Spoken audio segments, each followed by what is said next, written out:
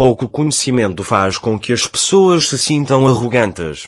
Muito conhecimento, que se sintam humildes. É assim que as espigas sem grãos erguem desdenhosamente a cabeça para o céu, enquanto as cheias as baixam para a terra. O conhecimento torna a alma jovem e colhe a sabedoria.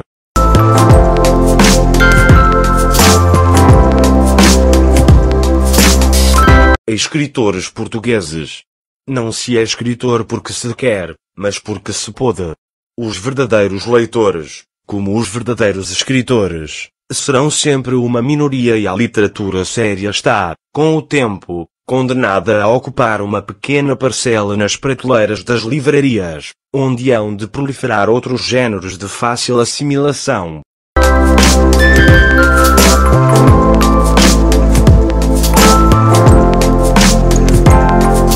Pintores portugueses.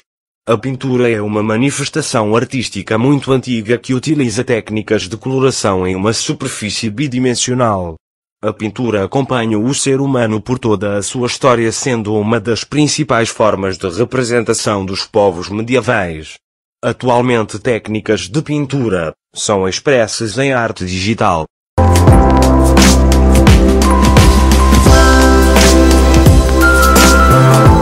Castelos de Portugal. Num país com centenas de castelos, cada um com a sua própria história, sendo que história não é mais do que o estudo do homem e sua ação no tempo e no espaço e muitos deles construídos há mais de um milénio pelos mouros e os outros para defendermos o país de invasões dos outros reinos ibéricos.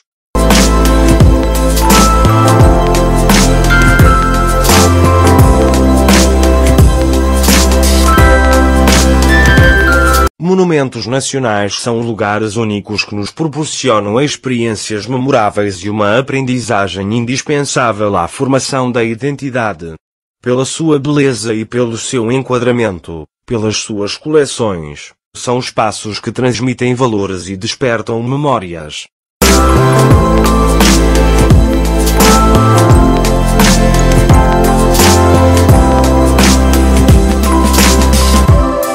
Reis de Portugal.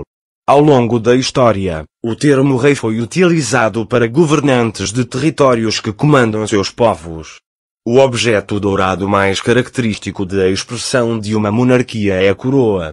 Esta é um ornamento utilizado sobre a cabeça que representa o poder e a legitimidade e que foram entregues pelos anjos aos homens.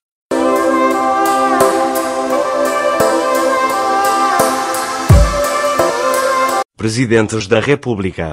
É a autoridade máxima de um Estado soberano cujo estatuto é uma república.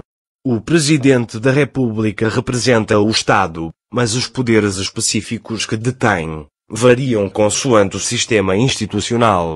Em grande parte dos países usa uma faixa presidencial, como distintivo do cargo.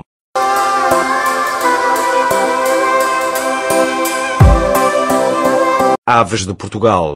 Eis uma seleção de aves de Portugal, cada uma com as suas próprias características, que foram desenvolvendo ao longo de milhões de anos, e que me habituei a ver e a ouvir, na minha aldeia. O homem só será livre, quando desejar a liberdade para os outros seres, seus semelhantes e para os seus parceiros na ocupação do planeta Terra.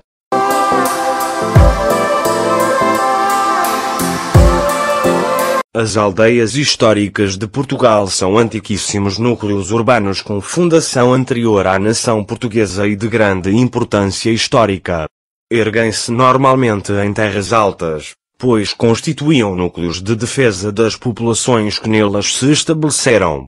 Destacam-se pela arquitetura militar, pois a maioria encontra-se rodeada de muralhas.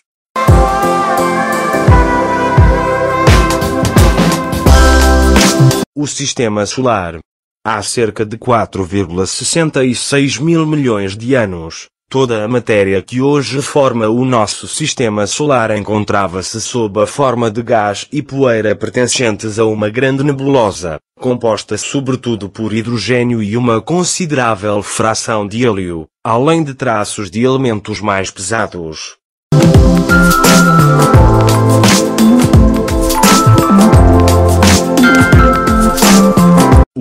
Universo.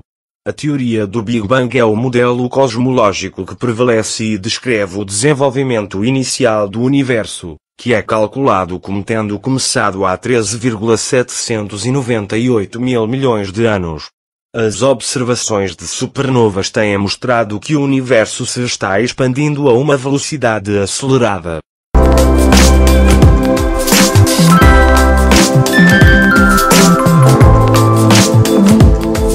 Telescópios espaciais.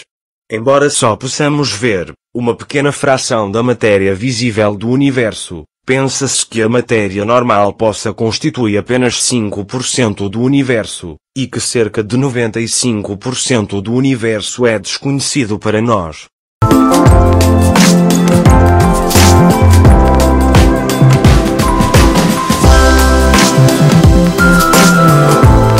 O cérebro humano. Na questão comportamental perante o poder, o cérebro reptiliano está programado para se submeter ao poder. A insensibilidade é outra característica do cérebro reptiliano.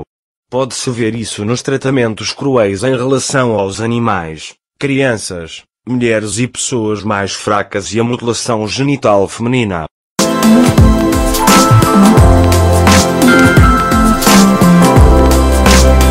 A religião.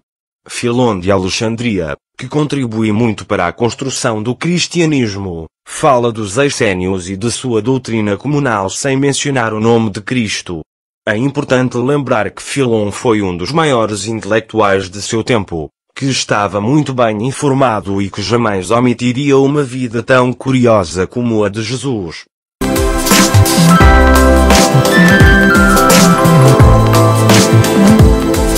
O planeta dos povos.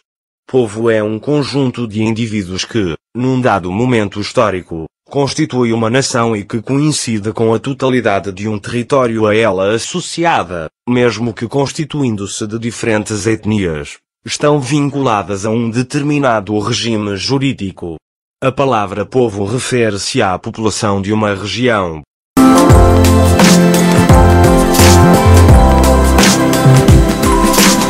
Enigmas ancestrais. Há séculos que estes monumentos fascinantes intrigam astrônomos e arqueólogos. Como foram construídos?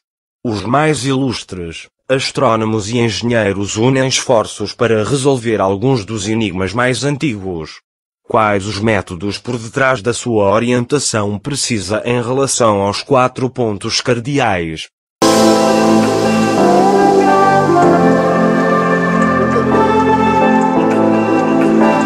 O 25 de abril de 1974, também conhecido como Revolução dos Cravos, refere-se a um evento da história de Portugal resultante do movimento político e social, que depôs o regime ditatorial do Estado Novo e que iniciou um processo que viria a terminar com a implantação de um regime democrático.